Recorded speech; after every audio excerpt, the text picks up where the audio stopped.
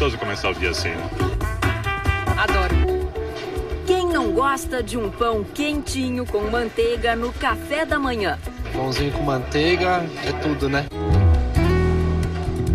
Incrível como uma receita tão simples, que leva basicamente farinha, água e sal, pode render tantas maravilhas.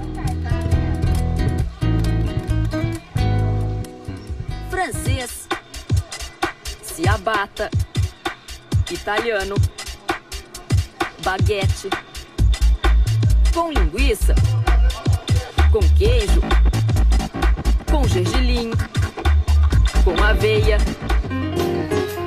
Ele mata a fome, sacia o desejo, mas tem um porém. Enche de culpa quem está sempre de mal com a balança.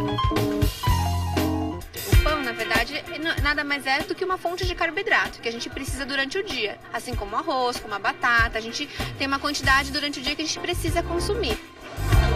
Geralmente a gente tem é, a mania de comer um pouco mais, comer dois, três, e aí que tá o grande erro. Eu gostaria de comer mais, mas só dois. Nutricionista explica que a quantidade correta que se deve comer de pão diariamente depende de cada pessoa.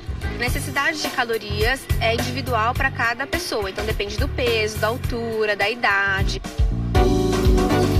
E para quem tem problemas com o peso, ela dá a dica.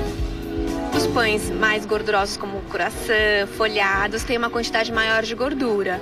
E os pães, na verdade, mais simples ou com fibras integrais são menos gordurosos. Agora, se o recheio for gorduroso, a refeição como um todo fica mais calórica e mais pesada. Então, se eu consigo ter um recheio mais saudável e escolher o tipo de pão certo, ele pode ser uma refeição saudável.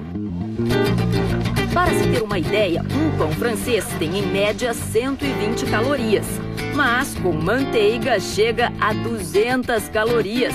Para quem não sobrevive longe das padarias, aí vai um consolo.